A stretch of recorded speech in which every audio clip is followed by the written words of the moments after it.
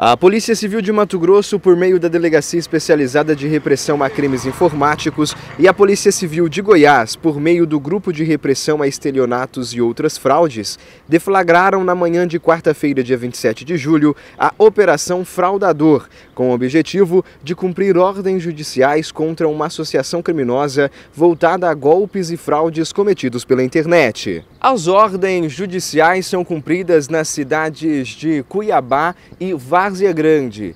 E até o fechamento desta reportagem, quatro pessoas tiveram um mandado de prisão cumpridos. Segundo o delegado da DERCE, Rui Guilherme Peral da Silva, a operação conjunta entre as polícias civis de Mato Grosso e Goiás tem o objetivo de combater fraudes praticadas pela internet, identificando grupos envolvidos nos crimes e prendendo seus integrantes. As penas por fraude eletrônica são de 4 a 8 anos de reclusão, podendo chegar até 16 anos de prisão, além do crime de associação criminosa, pontuou o delegado.